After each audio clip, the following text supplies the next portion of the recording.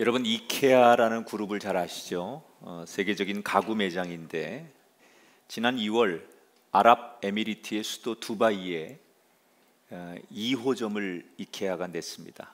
그런데 굉장히 큰 규모의 매장을 만들었는데 결정적인 단점이 하나 있었답니다. 매장을 크게 짓다 보니까 도심에서 어, 떨어진 곳에 매장을 지었다는 게 큰 단점이었습니다. 매장이 성공하려면 접근성이 좋아야 하고 빠른 시간에 매장에 와야 되는데 너무 떨어져 있으니까 사람들이 오는 게 힘든 거예요. 어, 이 매장을 오픈하면서 어, 어떻게 하면 어, 멀리서도 오고 싶은 마음이 들게 할까? 아, 이 마케팅에 대해서 고민을 하기 시작합니다. 그러면서 이 사람들이 기가 막힌 전략을 하나 내놨습니다.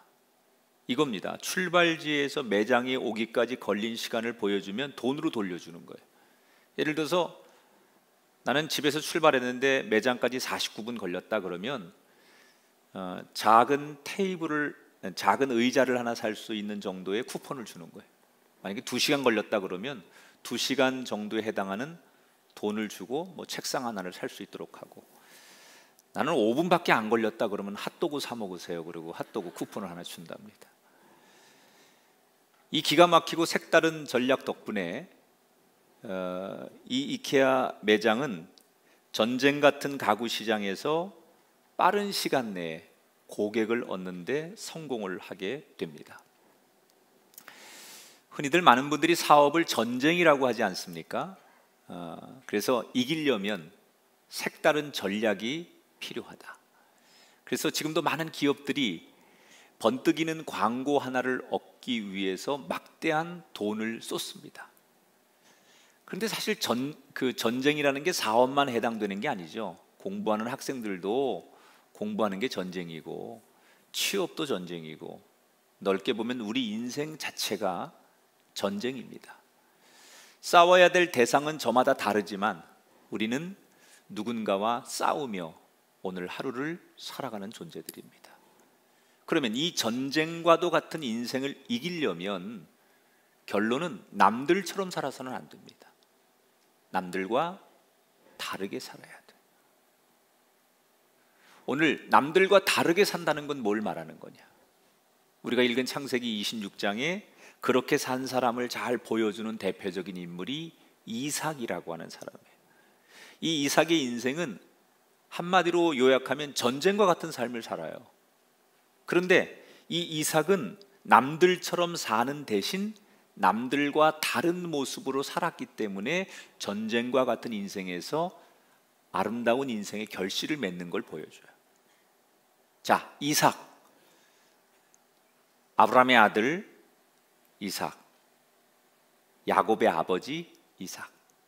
지난 시간에 이 이삭 이야기를 하면서 결혼을 한 이삭이 아내 리브가와 함께 자기가 살던 땅에 큰 흉년이 들어서 먹을 양식을 찾아서 그랄이라고 하는 지역으로 이주한 얘기를 소개해 드렸어요.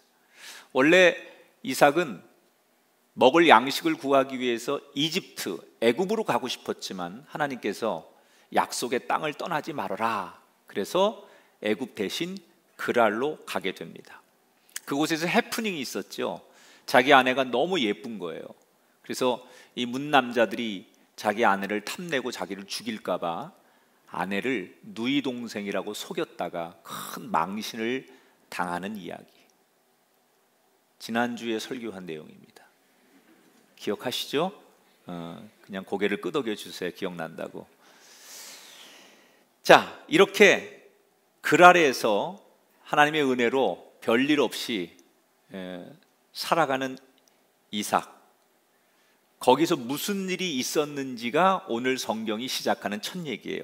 그글 아래 머무는 동안 어, 이삭의 부부에게 무슨 일이 있었을까? 12절부터 14절에 보니까 오늘 성경을 이렇게 엽니다. 이삭이 그 땅에서 농사하여 그해 백배나 얻었고 여호와께서 복을 주심으로 창대하고 왕성하여 마침내 거부가 되어 양과 소가 때를 이루고 종이 심이 많았으므로 자 이삭이 그랄 지역의 이주에서 터를 잡고 농사를 졌다는 거예요. 그런데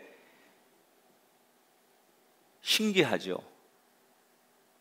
분명히 지금 흉년 때고 남들은 농사를 져도 농사가 잘 안 되는데 이상만 농사를 지으면 풍년이 드는 거예요.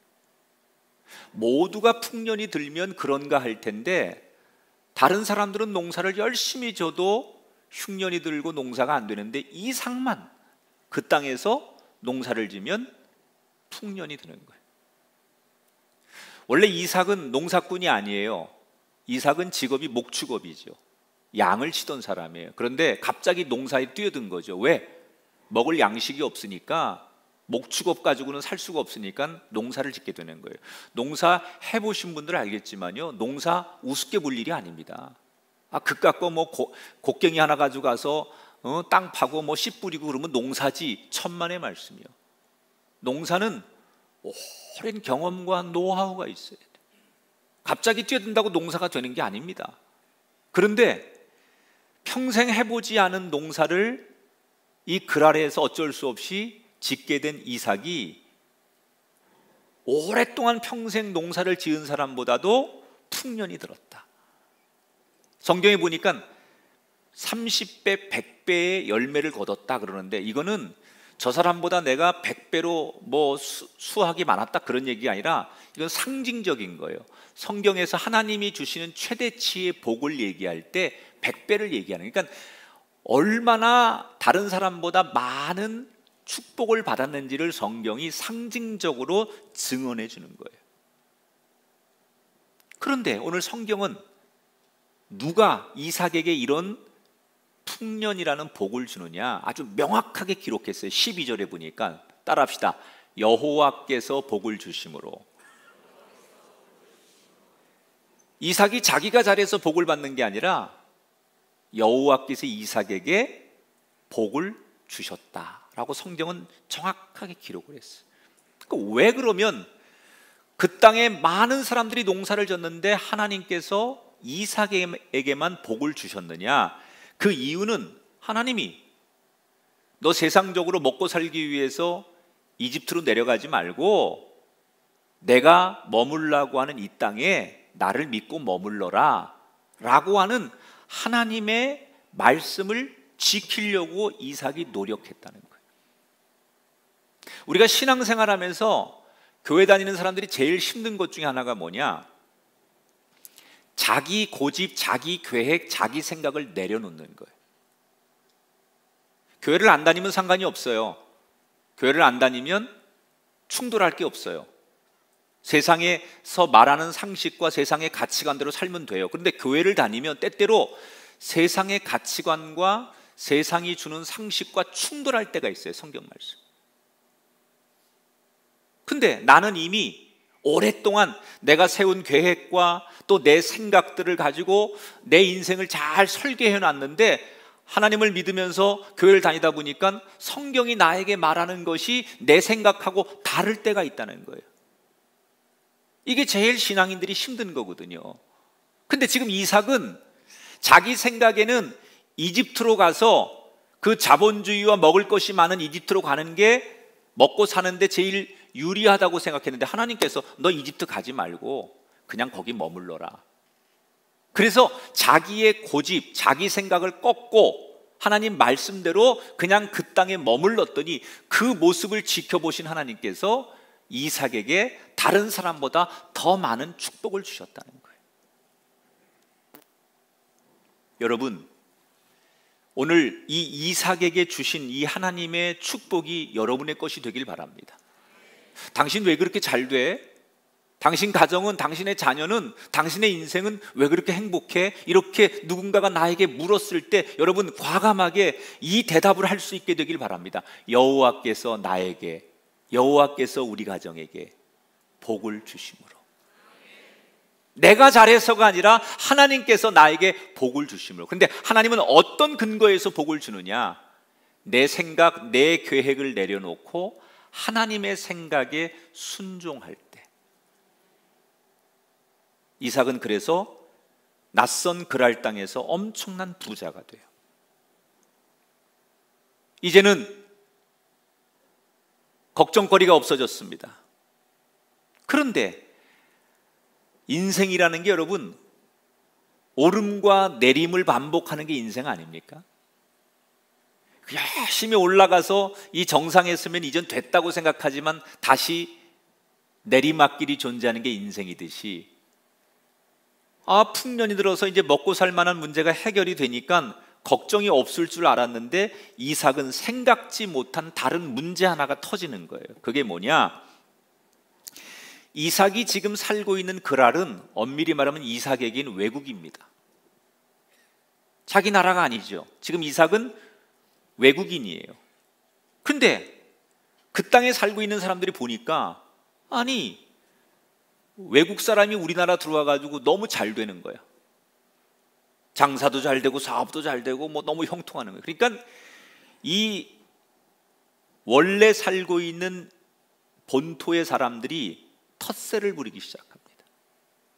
시기하고 질투해서 이삭이 잘 되는 거에 대해서 텃세를 부리죠. 그래서 분풀이를 하는데 오늘 어떤 분풀이를 하느냐? 이삭이 쓰고 있는 운물을 막아버립니다.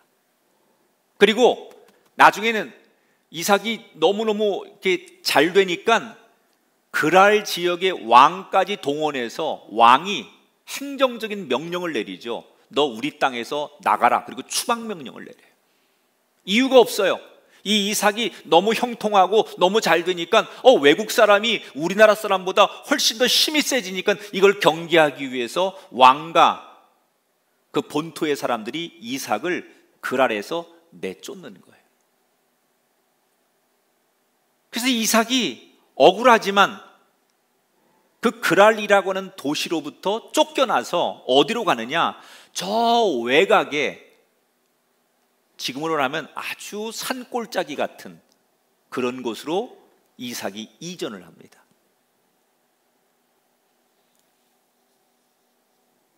거기 가서 이제 새롭게 시작하는 거예요. 농사도 다시 짓고 가축도 치고 그리고 제일 중요한 게 당신은 운물을 파는 거예요. 운물. 이 중동은 대부분 사막 아니면 산악지대예요. 그래서 반드시 사람이 생존하기 위해서 농사를 짓기 위해서 가축을 키우기 위해서 제일 필요한 게 물입니다. 그래서 운물을 확보하는 게 이 사람들에겐 제일 중요한데 오늘 운물 얘기가 많이 나와요.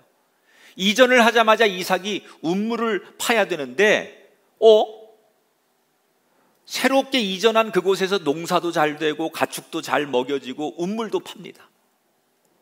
너무너무 잘 되는 거예요.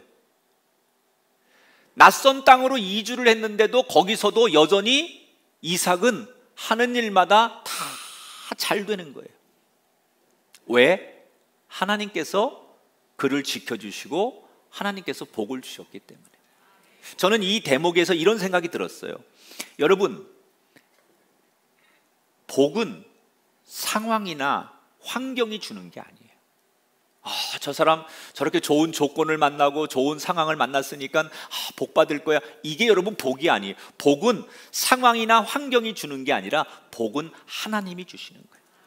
어떤 상황이나 어떤 조건이나 어떠한 환경일지라도 하나님이 그에게 복을 주시고 하나님이 동행하시면 그 인생이 복을 받는 거예요.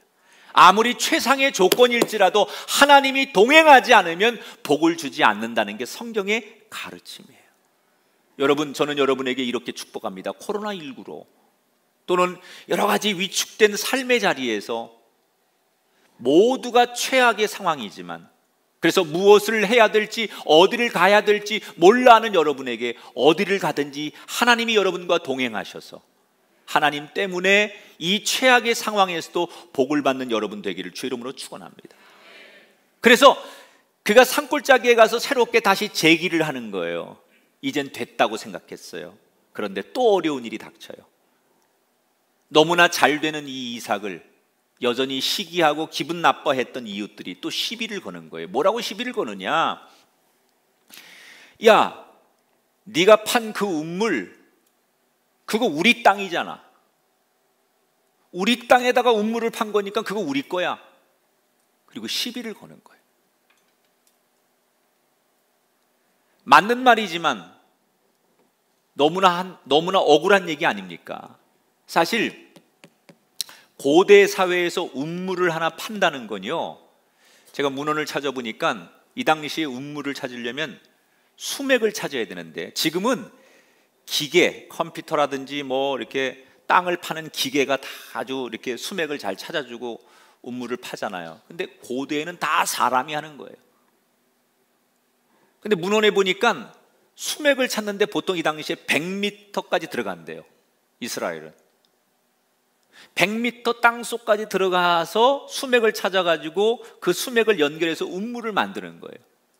그럼 생각해 보세요. 수맥을 찾는 것도 어렵지만 수맥을 찾아서 운물을 만들려면 다시 이렇게 어떤 규모에 맞춰서 터파기를 하고 거기다가 돌을 쌓고 뭐 이렇게 해가지고 운물을 만들려면 이 굉장한 거거든요.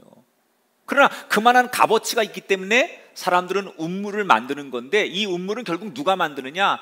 막대한 노동력과 자금이 있는 사람만 하는 거예요. 일반 서민들은 운물을 만들 생각을 꿈도 꾸지 못하는 거예요. 이삭 정도 되는 자금력과 노동력이 풍부한 사람이 운물을 만드는 거예요. 그런데 그 운물을 원주민들이 와서 자기네 땅에서 판 거니까 달라는 거예요. 자, 여러분이라면 어떻게 하겠습니까? 싸워야지요. 그죠?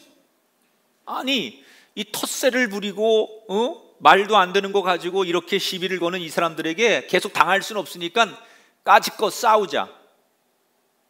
그런데 이삭은 싸우지 않아요. 그냥 순순히 아무 말 없이 운물을 양보합니다.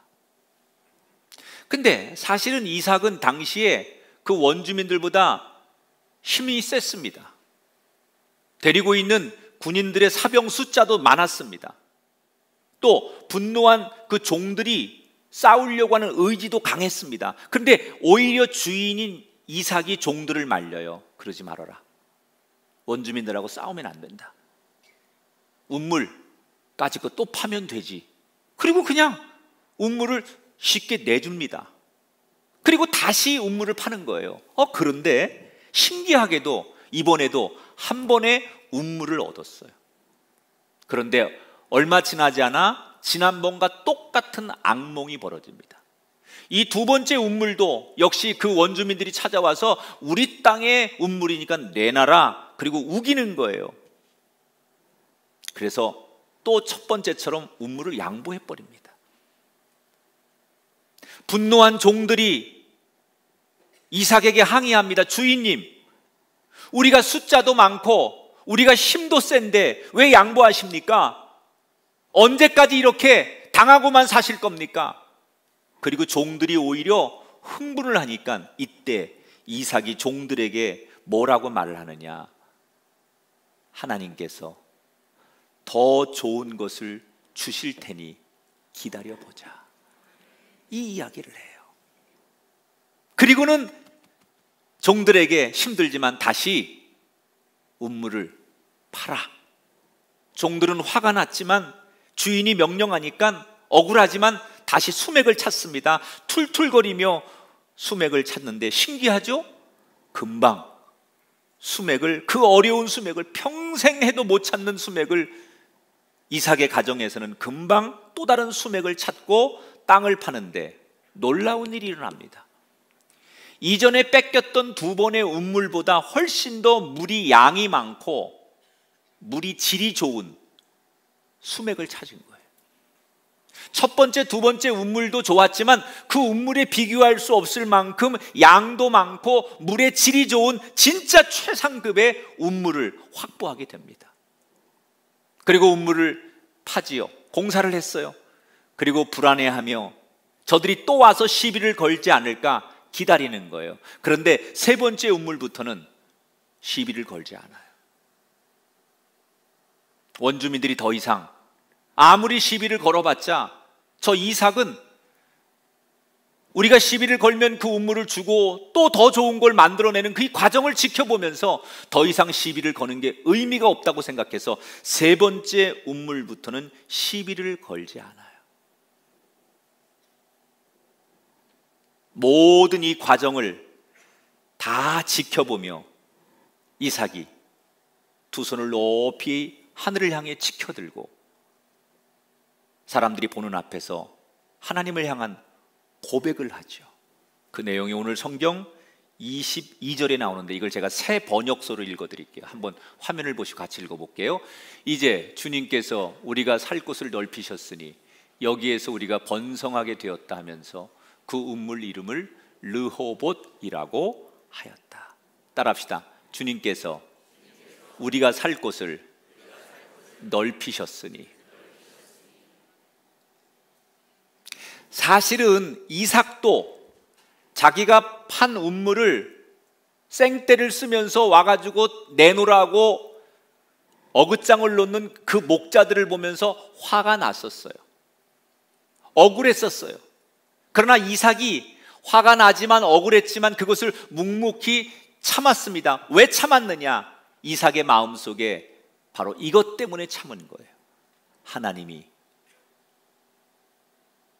더 좋은 것을 준비해 주시겠지. 그 하나님을 신뢰한 거예요.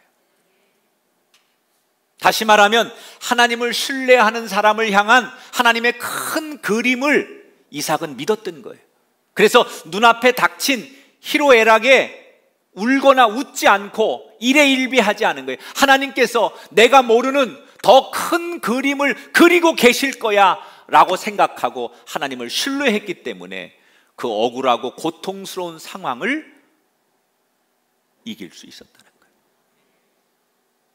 우리가 세상을 살다 보면 때때로 속상하고 억울하고 답답한 일을 만날 때가 있어요.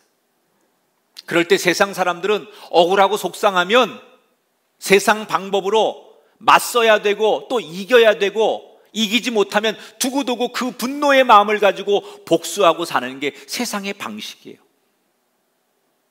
그런데 오늘 성경이 우리에게 뭐를 가르쳐요? 믿는 사람은 달라야 된다는 거예요. 하나님의 자녀는 달라야 된다는 거예요. 어떻게 달라야 되느냐? 하나님이 내가 그리지 못하는 더 큰 그림을 그리고 계심을 기대하라는 거예요. 내가 지금 억울한 일을 만나고 답답하고 속상한 일을 만났을지라도 그 억울하고 답답한 것을 가지고 하나님께서 내게 더 유익되고 좋은 미래의 그림을 그리고 있음을 기대하라는 거예요. 이 그림을 기대했던 사람 중에 하나가 다윗 아닙니까? 여러분 이 다윗이 십수년간 당시의 사울 왕에게 쫓겨다닙니다. 그런데 사실 다윗은 무슨 죄가 있어서 쫓겨다니는 게 아니에요. 자기는 왕에게 충성하고 나라에 충성했을 뿐인데 자기를 시기했던 사울이 그 시기의 마음으로 다윗을 죽이려고 혈안이 되어 가지고 다윗을 쫓아다니는 거예요. 얼마나 억울합니까 다윗의 입장에서. 그런데 그렇게 막 숨어 다니고 도망 다니고 쫓겨 다니는 그때 하나님이 이 다윗에게 큰 그림을 그리고 계셨어요. 그게 뭐냐? 다윗이 막 도망 다니면서 자기처럼 세상에 억울하고 누명 쓰고 답답하고 힘든 사람들을 가는 곳마다 수백 명을 만났어요, 그때. 그리고 그들을 그 답답하고 억울한 사람들을 위로해주고 그들을 상담해주고 그들을 격려하다 보니까 자연스럽게 그 약한 자들, 억울한 사람, 세상에 이렇게 힘없는 사람들이 힘에 당하고 억울하게 사는 사람들이 많다는 것을 그때 쫓겨다니면서 다윗은 배운 거예요. 그리고 리더십이 생긴 거예요. 훗날 왕이 되고 보니까 왕의 자리에 앉아서 세상을 보는 게 아니라 자기가 가장 어려울 때 쫓겨다닐 때 억울할 때 그 세상에 살면서 바닥의 민심, 세상 사람들을 경험했기 때문에 왕이 된 뒤에 그들의 마음으로 정치하고 그들의 마음으로 백성을 다스렸더니 역사상 가장 위대한 왕으로 그의 통치 기간에 가장 부흥하는 나라로 결국 하나님은 억울한 그때 다윗에게 더 큰 그림을 그리셨기 때문에 다윗이 훗날 위대한 왕이 될 수 있었다는 거예요.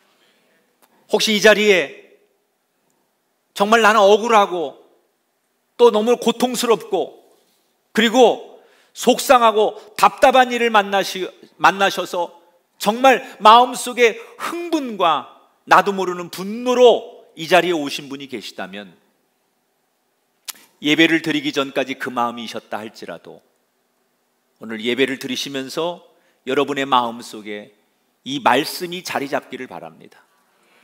하나님이 나에게 더 큰 그림을 그리고 계신데 나는 그 하나님을 신뢰하자. 이삭처럼 다윗처럼 하나님이 나를 절대로 버리지 않으시고 이 고난과 환란 뒤에 더 좋은 것을 준비하고 계심을 믿고 그 하나님을 바라보시기를 축원합니다. 그래서 이걸 너무나 잘 아는 사도 바울이 우리에게 뭐라고 가르쳐요? 항상 기뻐하고 쉬지 말고 기도하고 범사에 감사하라. 사도 바울이 이 말을 할 수 있었던 것은 지금 제가 드리는 이 설교 내용을 알고 있었던 거예요. 내가 아무리 억울하고 속상하고 힘든 일을 만나도 하나님은 나를 버리지 않으시고 나보다 더 좋은 그림을 그리고 계셨음을 신뢰했기 때문에 무슨 일을 만나든 억울한 일을 만나든 고통스러운 일을 만나든 항상 기뻐하고 쉬지 말고 기도하고 범사에 감사하는 사람이 되자. 한번 따라 합시다. 나를 향한 더 큰 그림을 그리시는 하나님을 신뢰합니다. 아멘 하십시다.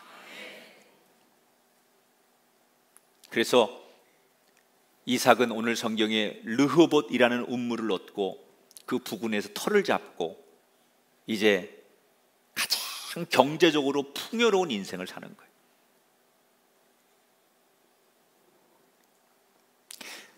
지금 이삭이 살고 있는 르호봇이라고 하는 이곳은 지도를 한번 보여주실까요? 부엘세바라고 하는 곳에서 한 30km 떨어진 곳이에요. 저 위가 그랄, 그랄에서 부엘세바, 부엘세바에서 르호봇 이렇게 지금 옮겨온 거거든요. 이삭이. 근데 사실은 어, 가장 그 이삭에게 영적으로 예배를 드리고 하나님 앞에 예배를 드리는데 좋은 장소는 은혜의 장소는 부엘세바예요. 근데 지금 왜 르호봇까지 오는 거예요? 먹고 사는 문제 때문에 온 거예요. 쫓겨서 온 거예요.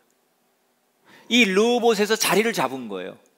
그런데 어느 날 이제는 고생할 만큼 했고 경제적으로 여유가 있고 사업으로 성공했으니까 내가 즐기면서 인생을 살면 돼라고 만족하고 있던 그 마음에 갑자기 무슨 생각이 드느냐? 내가 세상적으로 성공했지만 하나님 앞에 예배를 제대로 드리지 못하고 영적으로 예배자로 참된 예배자로 살지 못하는 것에 대한 갈증이 있었어요.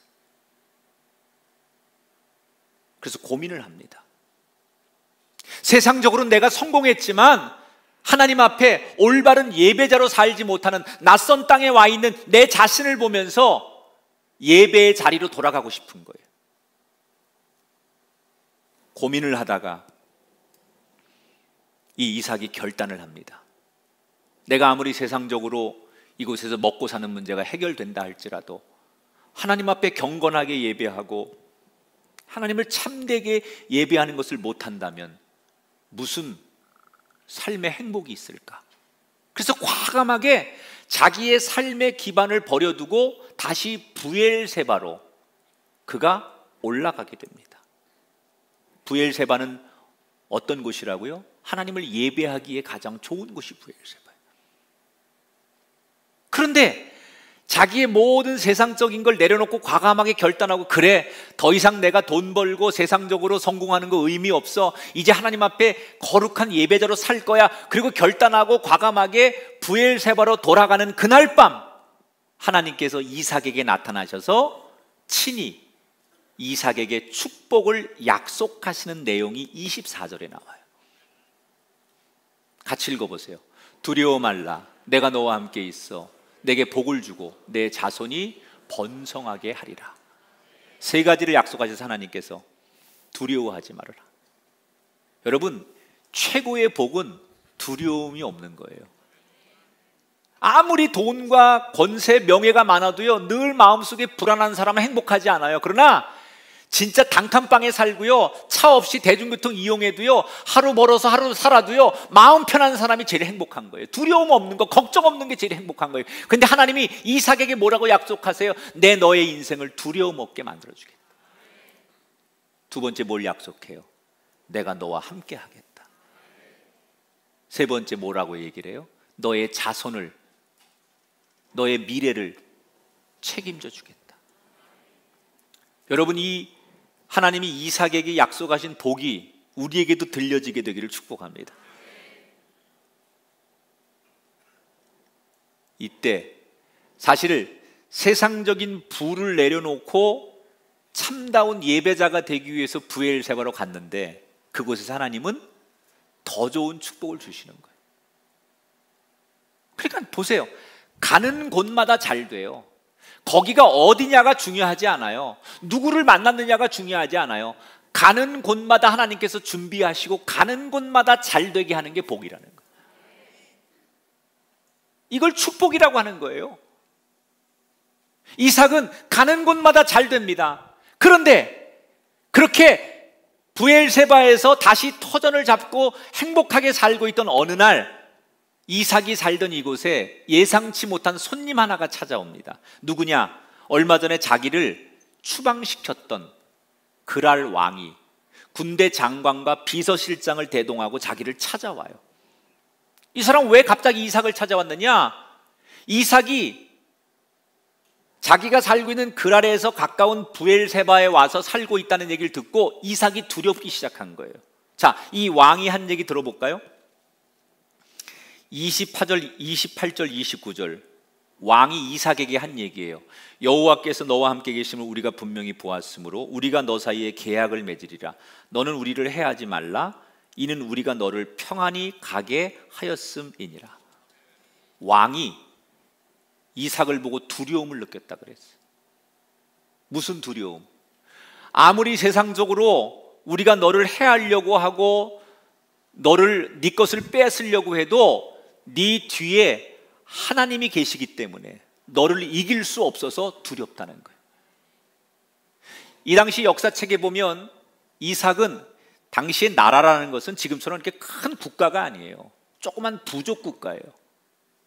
그러니까 한 나라의 왕이지만 그랄 왕은 우리가 생각하는 그렇게 로마처럼 큰 나라가 아니라 조그만 부족의 왕인데 그래도 이 부족의 왕이 갖는 권력이 대단했는데 이삭이 개인적으로 얼마나 축복을 많이 받았는지 왕이 가지고 있는 권력과 힘보다 더 많은 축복을 받습니다. 그러니까 왕이 위협을 느끼는 거예요.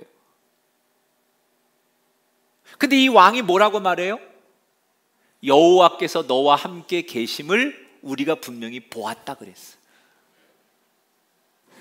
근데 이거는 사실 성경을 기록한 사람들이 저는 어, 이건 좀 이렇게 번역의 오류라든지 내지는 표현을 일부러 그렇게 한 거라고 생각해요. 사실은 왕이 하나님을 본 게 아니라 엄밀히 말하면 너와 하나님이 함께하는 걸 우리가 들었다 이게 맞는 거예요.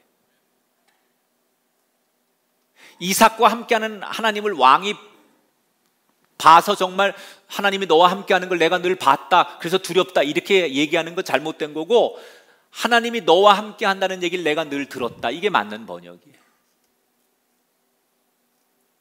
왕은 하나님을 본 적이 없어요. 그러면 이삭 옆에 하나님이 늘 있다는 얘기를 어떻게 알았을까요? 이삭이 하는 거예요, 이삭이. 사람들이 이삭을 부러워하잖아요. 어떻게 농사가 잘 되고, 어떻게 하는 일마다 번성하고, 어떻게 운물을 파면 금방 수맥을 잡고 운물을 완성하고, 당신 도대체 이렇게 잘 되는 비결이 뭐냐? 당신 승승장구하는 비결이 뭐냐? 당신 축복받는 비결이 뭐냐? 이렇게 물어보면 이삭은 그때마다 뭐라고 대답했을까요? 하나님이 나와 함께 하시기 때문에. 여호와가 우리와 함께 하시기 때문이다. 하나님이 나를 사랑하시기 때문입니다. 하나님이 나를 지켜주시기 때문입니다. 이 이야기를 이삭이 본인이 하는 거예요.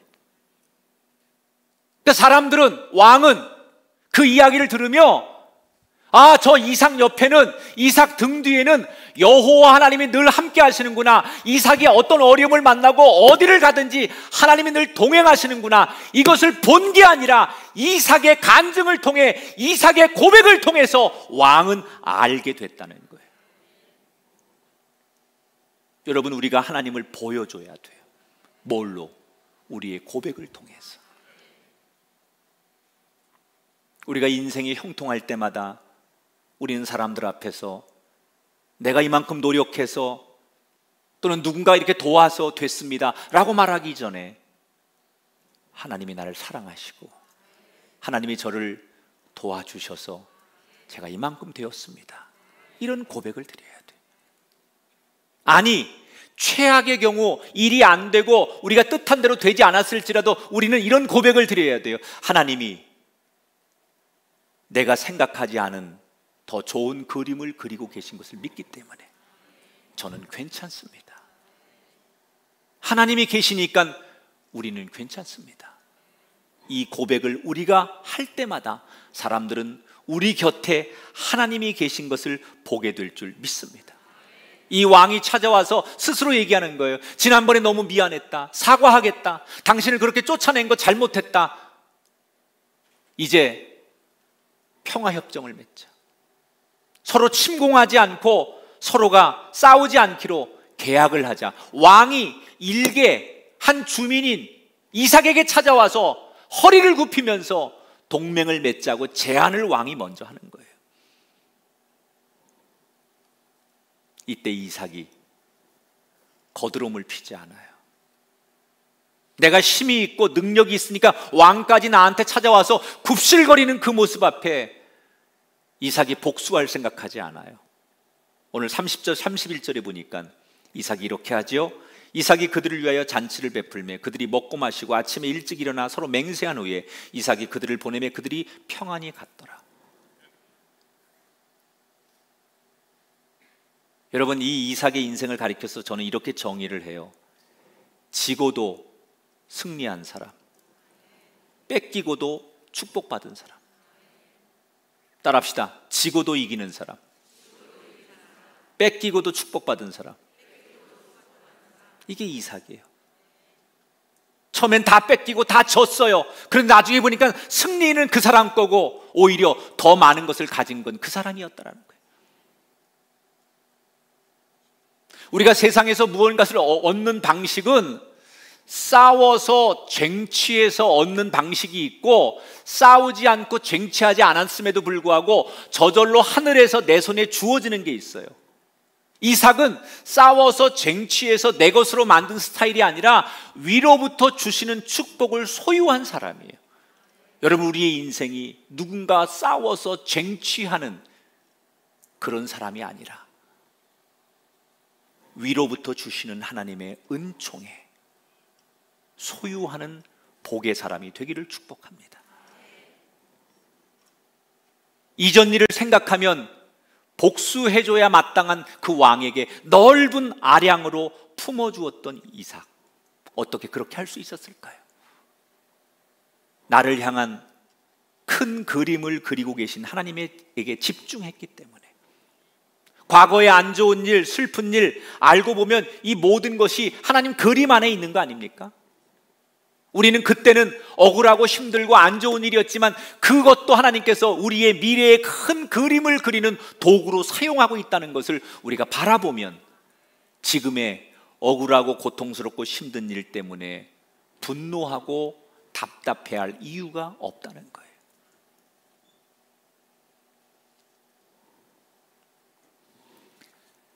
드라마 쓰는 작가 그 대본을 쓰는 작가 들이 하는 얘기를 들어보니까 일단은 아침 드라마에 단골 소재로 빼놓지 않아야 될 것 중에 하나가 복수국이라는 게 복수국. 일단 복수국이 들어가면 시청률은 기본은 올라간대. 그 왜 그러냐 내가 작가들한테 물어봐서 그랬더니 대리만족을 느낀다는 거예요. 아침마다 주부들이. 저 남편 저 시어머니. 그래서 반드시 현대 드라마에 이 작가들이 단골 메뉴로 넣는 게 복수국이라는 게 복수. 이걸 너무 좋아하는데 현대인들이 막 통쾌해하고 그만큼 현대인들이 복수에 대한 열망을 가지고 산다는 거예요. 그런데 성경은 다르게 말아요. 과거를 묻지 말아라. 어떤 과거일지라도 넓은 아량으로 다 품어라. 하나님이 더 좋은 그림으로 우리에게 베푸신다는 거예요. 여러분 우리의 시선을 바꾸시기 바랍니다. 과거에 집중하지 마시고 지금 역사하시고 미래의 그림을 그리시는 그 하나님에게 시선을 바꾸시기 바랍니다. 그 하나님을 바라보면 용서되지 못할 과거, 용서되지 않을 사람은 없습니다. 사랑하는 여러분, 환경과 상황이 인생을 만들지 않습니다. 대처하는 방식이 인생을 결정합니다. 우리는 다르게 살아야 돼요. 순풍이든 역풍이든 나를 향한 하나님의 큰 그림에 집중하시고 과거에 대한 집착 대신 오히려 품어주시고 용납하면 하나님께서 더 큰 그림으로 내 인생을 완성해 주실 것을 기대하시면서 특별히 오늘 청년 주일인데 우리 젊은이들에게 축복합니다. 세상이 주는 고정관념, 편견에 도전하는 사람이 진정한 청년이에요. 세상에선 이렇게 살아야 성공하고 이렇게 사는 게 루틴이고 그렇게 가르치지만 그런 고정관념과 편견에 기백 있게 도전하는 게 청년의 때라는 거예요. 세상의 방법이 아닌 하나님의 방법으로 세상에 도전하셔서 진짜 청년이 되시고 우리 교우들도 나이는 먹었지만 영원한 청년, 영원한 청춘으로 세상을 이기는 멋진 그리스도인들이 되시기를 주님의 이름으로 축원합니다.